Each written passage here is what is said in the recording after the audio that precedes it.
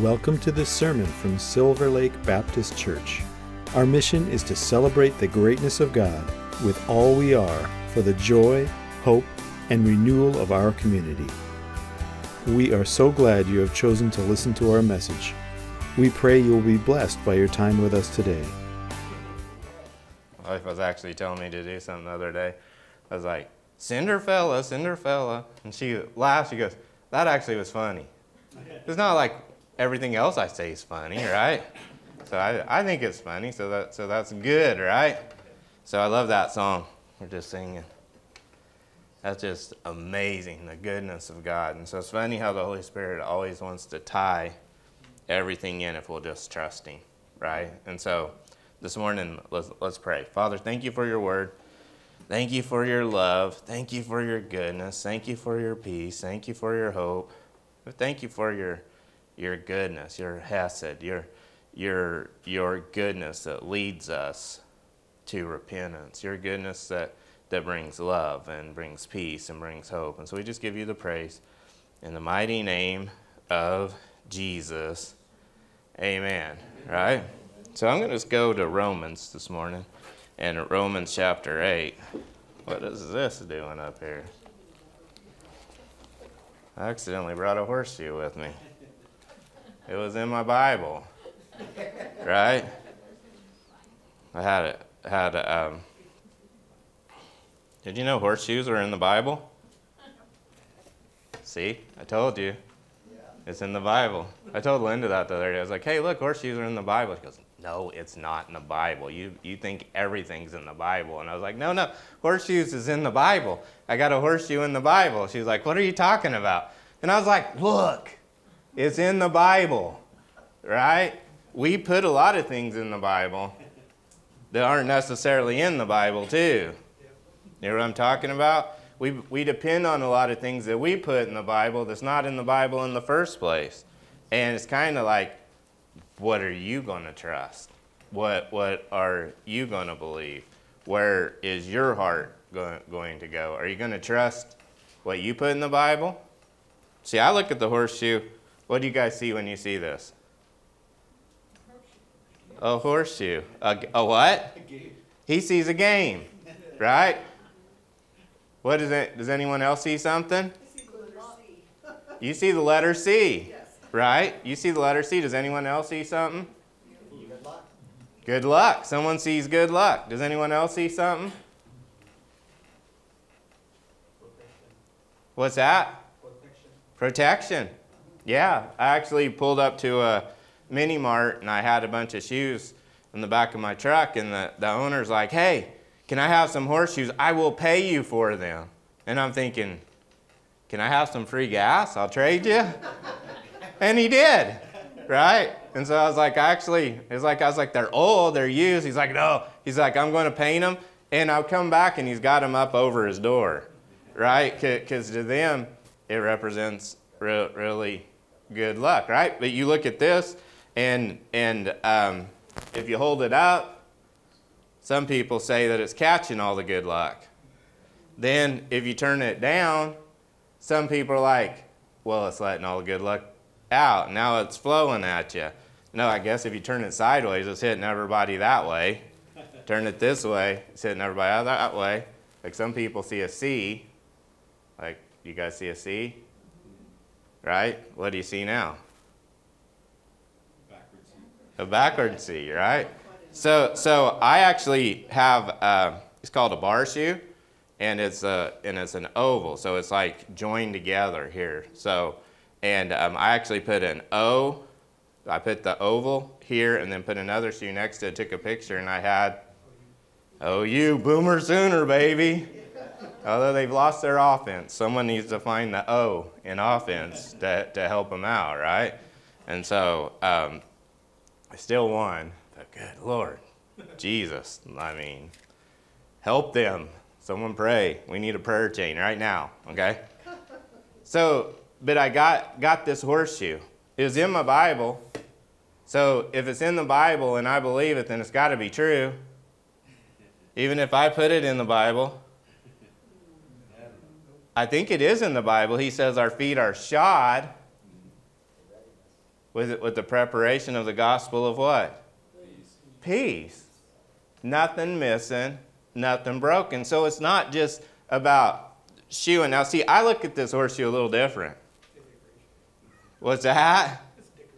It's not just as a decoration, but I use these things every week, all day long. And I put these on horses all day long. And each shoe has a different purpose. Each shoe does something different. Like some horses need, need uh, uh, this is just a plain, plain shoe, but some horses need an eventer shoe, which has a crease all the way through here. Some horses need to slide. They're reining horses, and so they're thick. They're like about this thick, and, and they're thick all the way around. And so when the horse gets on the dirt, it can, it can slide. Some horses need pads. Like Linda's mare, she was, was walking around, it went, got wet, and then it got really hard. And then when it gets wet, they put footprints in, and then it dries. And then when the horses step on it, it hurts the soles of their feet. So she's like, like, uh, guess what you're doing? I was like, well, whatever you told me I'm doing. And she's like, you're putting shoes on Willow. I was like, I am? And she's like, yes, you are. So I put shoes, but I put pads. And then I put some dental impression material, which is some soft putty, and you mix it together. It's kind of like putty. It's actually like playing, right? And you put it in the bottom, and then, then you put the pad on. And, and you know what she can do? She can walk. Isn't that funny? She could walk before, but it was like really, she was sore. Like there was so much weight going on on the hard ground that, that it, it hurt her and it made, it made it hard and it made, made it hard for her to walk. And so, so when I put the pads on, guess what she could do? She could walk, she could run, she could do whatever you wanted her to do because her feet were shod. The Bible talks about our feet being shod with the preparation of the gospel of what? Of peace. Of peace. Do you know what peace means? Completeness. Nothing broken, nothing missing. You ain't broken, and there ain't nothing missing in your life. In Him, you have everything that you, you will ever need, and it comes through one person, and His name's Jesus. Isn't, isn't that good news? So now, just like, like, like her horse, like, like she's, got, she's got some shoes and she's shod. We call it shod. That's what it means. When you shoe a horse, you say, Did you shoe your horse? Yes, your horse. I shod your horse. Right? Why did you sh shod my horse? What did it do to you? I mean, did you use a gun? What kind of gun did you use to shod my horse? Get it? Shot, not shod. I actually had people say, do that to me, believe it or not. Right? But the horse is shod. So now, guess what it can do? It can walk. And it can walk and do what it was designed to do. And that's what he's saying. He's shod our feet with peace, with completeness, in security and hope. Nothing missing, nothing broken. And in that, we, ha- we have a peace that will pass some understanding. What understanding? All understanding. A peace that passes all understanding. That means that, that we trust in the Lord with some of our heart, all of our heart, and lean not on our own understanding. Because we have a completeness. Man, I don't understand. Like, I'm messed up, uh, but I'm still complete. God doesn't look at me as messed up, He looks at me as a son and as complete. And, and but I ain't looking at myself that way.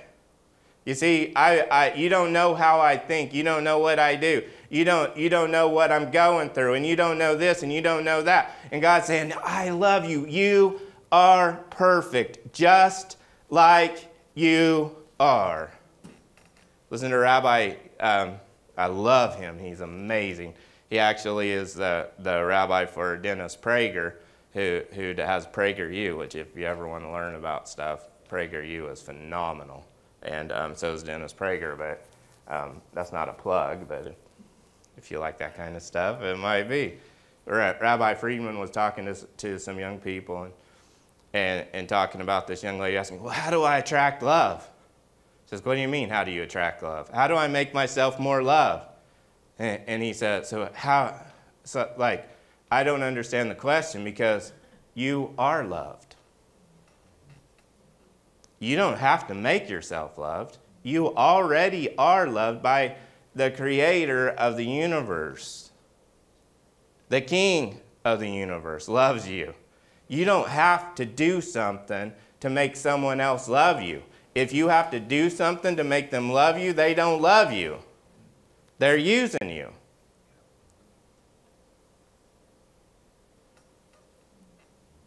I love I love it um, a lot because I love listening to. I feel like I've been going back to my roots a lot and listening to some of the the rabbis, and I love listening to them, and they're great. And and I'm finding like like um, there's almost like a revival going on in the hearts. But I listened to to, um, to Rabbi Rabbi Friedman, and and um, he's talking about um, for for a lot of the Jewish people, there there's parts of them where if you drive, especially the Hasidic, if you drive on Sunday, you're unholy. Not only are you unholy, but your son's unholy. Well, what's that? And, and so, so Rabbi Friedman said, said, said they're, they're like, well, what do you say about that? He's like, every Jew is holy. Well, how can you say that, Rabbi? Because they were made in the image and the likeness of God. They're sent to bear the message of the Torah, which is about Jesus, to the entire world. Every Jew has importance, and every Jew is loved and is holy. Not because they did something, but because God made them holy. And I was like, Am I listening to, to Romans? Because it almost seems more like I'm listening to Romans than I am to to, to this rabbi, right? You know, even like the Jewish people, like a lot of the, the in the Jewish faith, and there's everything spiritual. Like when you walk in the door, it's spiritual. When you go to the bathroom, it's spiritual. When you put your shoes on, it's spiritual. In fact, you put your right shoe on first, then your left, but you tie your left shoe first. Everything means something. The Jewish dances, every whatever they call this or that or step is saying something and it's spiritual. And that's really good that it's not bad that it's spiritual but when you make it if you made that about something that you had to do to be right with god then it doesn't become spiritual. It becomes legalistic and in the flesh. And that's what we do as christians a lot of times. We, we make prayer something that's to make us right when it's the blood of Jesus that make us right. We, we make talking about Jesus something that makes us right, and that isn't what made us right. What Jesus done on the cross, that is what made us right. We talk about Jesus because we believe that in our heart. And so, hey, I'm so free. Look what Jesus done for me, and we're not doing it because we're doing it to get right. We're doing it because we feel so much love and peace and that we feel the goodness of God. We feel His hope. We feel His peace. We feel, I am holy. I am righteous. I am sanctified. I am the righteousness of God in Christ Jesus. Not because of what I've done or what I do, but because of what he did once and for all. It all comes down to his goodness. In Hebrew, it's a word called hesed. And um, rabbis talk about how the hesed is the very foundation. Every, love comes from hesed. Hesed is, is the goodness of God. It, it literally says that you deserve everything, every good thing. You, not only do you, do you deserve it, but I want you to have it. And so, so when it, in Romans 2, when he's saying that it's the goodness of God that leads us to repentance. What does repentance mean? It means to, to turn around, to, to change our mind. It's, it's His goodness, Him saying, you know what? I want you to have everything. That's His peace that we're shod with. That's what peace means everything. I want you to have everything. And that's pretty cool. There, when you go from a different word of kindness, it's like grido or grulo or something like that. I always think of a grulo horse when I, when I hear him say it, but it's judgment. Right? And judgment means you only get what you deserve. If you do good, then you're going to get good. But if you do bad, it's what you're going to get. You're going to get, get, get beat. It sounds kind of like the finished work and religion. Now, in this world, we got to walk with a little judgment, right? Well, I got to judge how far I can walk to that door, right? I'm going to stop before I get into a closed doors, right? There is good judgment, but that judgment is not what saved me. What saved me was Jesus and his finished work. So that means that you got love and you got judgment, but out, out of kindness comes love. And love simply means this it's something that you make important. And some things you make more important than other things. That means you love it more than something else. It's not just a, a, a feeling and an emotion, it does become a feeling and emotion, but love's a decision. Are you more important than this other thing? And on the other end, hate, you, in order to hate something, you have had to have loved it first. Because if you didn't love it first, then you wouldn't have no emotion towards it or no connection. It just wouldn't matter. Right? Is there something like you don't even know nothing about? Like, and you don't even care. Like, you have no opinion about it. You know why? Because you don't love it, nor do you hate it. Right?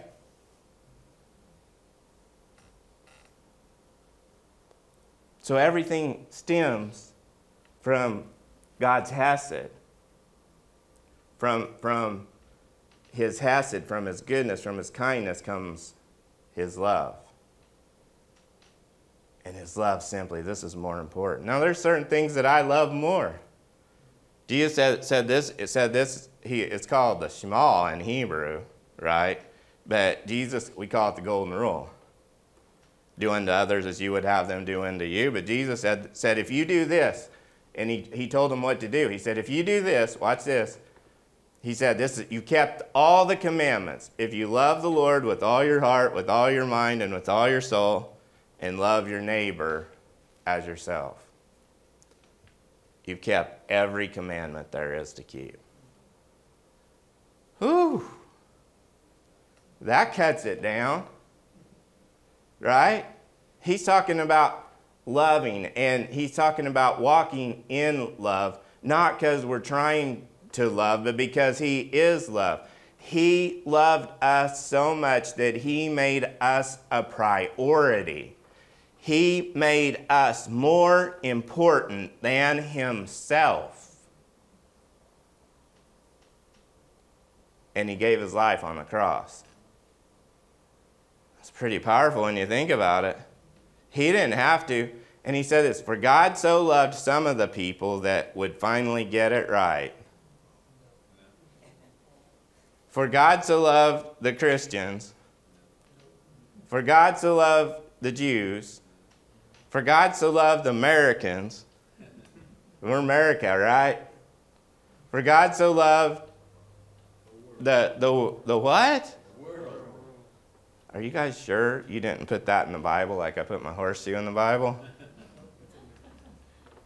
For God so loved what? For God so loved what? That he did what? He gave his only begotten Son. You know what? Love means what? You make it important. That means that he made you more important than Jesus. That means that Jesus, he wasn't just telling you something. He wasn't just saying, hey, this is something I'm going to tell you, this is what you do. I'm going to live it out in front of you. I'm going to show you how to do this, right? I'm going to make you more important than myself. And I'm going to give my life on the cross so that you can have my life. I want you to, I want you to, to live in me. I want you to know me. I want you to, to, to allow me to live in you and you can be in me and there's no resistance. There's no separation. We are one. It's like two, two, you ever see like two raindrops? And they're like separated and then you shake something and they come together. Because there's a little tension in there. When that tension leaves, what's happened? They become one and it just flows. So he's like, I want to be one with you. You're more important to me than me. I talk about valuable. God doesn't look at that rotten sinner. God's mad at him. Yeah, he's so mad that he says, You're more important than me. I'm going to die for you. I'm going to give my life for you so that you can have life, so that you can have hope, so that you can have peace, so that you can have access to the Father just like I do. That's pretty powerful. Thing is, is anything if it says that we love, which means to make more important, we make more important the Lord our God. We make more important our neighbor and ourselves. If you don't think you're valuable and you don't think you're important, you're going to live out of the wrong identity. And when you live out the wrong identity, you're going to do the wrong actions. Because we don't, we, we, out of abundance of the heart, a man thinks.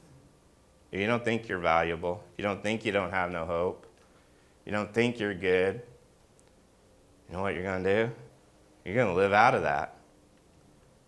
That's the actions. Right doing does not create right behavior. Right believing produces righteousness because you're going to work out of that righteousness. Then you're going to, going to love other people. Now, there's certain people that are more important than others. So that means like I'm going to put more importance on, on God and my wife than I am a stranger walking down the street. Right?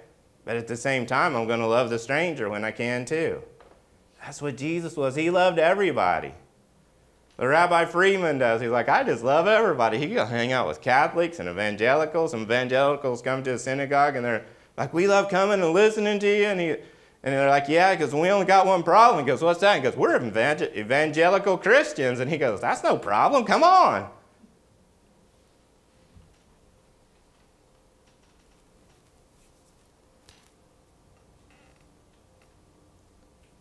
Do you feel loved? Do you feel God's peace? Do you feel His hope? Do you know your feet are shod with the gospel of Christ? It says in Romans 8 1, therefore there is now. When? Now. Let me ask you a question. What does now mean? Are you sure? There is now no condemnation for those who are in Christ Jesus, right? Because through Christ Jesus, the law of the Spirit of life set me free from what? The law of sin and death. For what the law was powerless to do, in that it was weakened by the sinful nature, God did by sending his own Son in, in the likeness of sinful man to be a sin offering. And so he condemned sin in sinful man. It doesn't say he contend, condemned sinful man, because if he condemned sinful man, they already gone. He's like, I ain't got a problem with sinful man, I got a problem with sin. And guess what I'm going to do? I'm going to do away. And really, the sin is a sin consciousness that we face right now Jesus already took care of the problem. He already condemned sin in sinful man. He already made a way so that we can live in His righteousness, we can live in His peace, we can live in His hope, we can walk with our feet shod with the preparation of peace. We can trust his kindness and know that that that like like another thing I love I love Rabbi. He's so funny. He, he's like like my son come to me and he's like I, I want an ice cream cone. He goes, I give him the ice cream cone. It's like, why? Because of, of my hesed. It's like God's hesed. Is I believe he should have everything. So he comes back and goes, Can I have another? Can I have another ice cream cone? He goes, Sure, here, here's another one. Can I, can I have another ice cream cone? He goes, Sure, here's another one. It's like he's going to get tired of eating it. He'll either make himself sick and not eat that many again. But I believe he should have everything. And Jesus said, if we if if we being evil love to give good things to our children, how much more will our Father in heaven? It's his hesed. It's his goodness. It's his kindness that leads us to repentance. It's not the religious browbeating that says you rotten sinner, you're going to hell. It is Jesus died for sin in sinful man, and because of that, you are free, and whom the Son sets free is free indeed. And they're like, Yes, I believe that. Thank you, Jesus. And now, what do we do? Come come a. You're a spiritual farrier. You just shod their feet with the gospel of peace, of nothing missing, nothing broken, and you gave them a hope that you can't buy, you can't earn, you can't get from anybody else because you already got it. Just got to receive it. He ain't going to make you. That's your choice. You're watching, you're like, I, I, I really like that. Good, you got that. All you got to do is believe. Believe in your heart and confess with your mouth that Jesus died for you. He paid for your sins while you were yet a sinner so you can live for Him. He loves you so much. Give him a shot. Tried everything else. Give him a shot. Watch what he will do. Amen. So, Father, we just thank you. We give you the praise, and we just ask for, for comfort and peace and for your goodness to flow through and in each and every one of us. In Jesus' name, amen.